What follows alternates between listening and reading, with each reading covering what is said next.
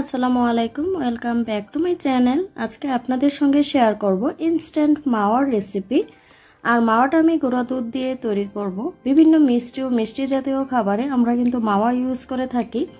অনেক সময় এই মাওয়া হাতের কাছে না থাকলেও কোনো সমস্যা নেই, কারণ মাত্র দশ মিনিটেই কিন্তু এই মাওয়াটি আমরা তৈরি করে নিতে পারি।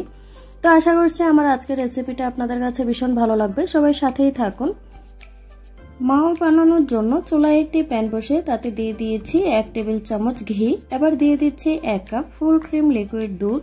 দুধটা দিয়ে সাথে সাথে নেড়ে দিচ্ছি আর চুলার আঁচ কিন্তু লোতে আছে। দুধটা আমি নাড়তে থাকব দুধে বলক আসা পর্যন্ত।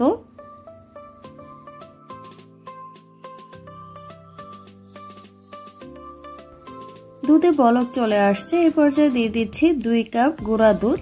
আর গুঁড়া দুধ দিয়ে সাথে সাথে নেড়ে চেড়ে দুধের সঙ্গে মিশিয়ে দিতে হবে। আর কন্টিনিউয়াসলি কিন্তু এটা এভাবেই নাড়তে হবে।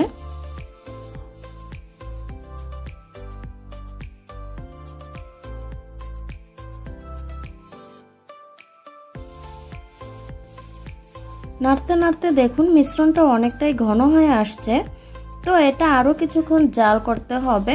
আর নাড়া কিন্তু বন্ধ করা যাবে না, কারণ নাড়া বন্ধ করলে মাওয়াটা নিচে দিয়ে লেগে যাওয়ার সম্ভাবনা থাকে। তো মাওয়াটা হতে হতে আপনাদের বলে নেই। আপনারা যারা আমার চ্যানেলটি সাবস্ক্রাইব করেছেন, তাদের সবাইকে অসংখ্য ধন্যবাদ। আর যারা এখনও করেনি তারা প্লিজ সাবস্ক্রাইব করবেন। আর পাশে থাকা বেল আইকনটি প্রেস করে রাখবেন, যাতে আমার নিত্য নতুন আপডেট আপনারা পেতে পারেন অতি সহজে। এক পর্যায়ে মিশ্রণটা যখন এভাবে প্যান থেকে ছেড়ে ছেড়ে আসবে, প্যানের মধ্যে আর লেগে থাকবে না, তখন বুঝতে হবে মাওয়াটা হয়ে গিয়েছে। তো মাওয়াটা প্যান থেকে উঠিয়ে একটা প্লেটে নিয়ে নিচ্ছি। আর হালকা একটু ঠান্ডা হলে কিংবা হাত দিয়ে ধরা যায় এমন পজিশনে আসলে আমি মাওয়াটাকে একটা গুল শেপ দিয়ে নেব।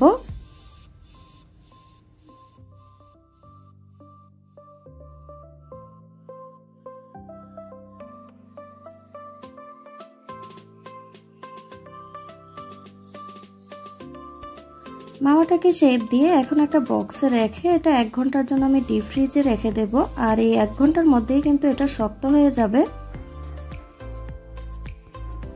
তো দেখুন, এক ঘণ্টা পর মাওয়াটা কিন্তু শক্ত হয়ে গিয়েছে। এখন একটা গ্রেটার দিয়ে এটা একটু গ্রেট করে নিচ্ছি। আর এইভাবে মাওয়াটা গ্রেট করে আপনারা কিন্তু যে কোনো মিষ্টিতে এটা ইউজ করতে পারেন। তো দেখলেন তো কত সহজে তৈরি হয়ে গেল ইনস্ট্যান্ট মাওয়া। আপনারা চাইলে ডিপ ফ্রিজে রেখে এই মাওয়াটা অনেক দিন ইউজ করতে পারবেন। তো আশা করছি আজকের রেসিপিটা আপনাদের সবার কাছে ভালো লেগেছে। আজকে তাহলে এই পর্যন্তই। সবাই ভালো থাকবেন, সুস্থ থাকবেন। আল্লাহ হাফেজ।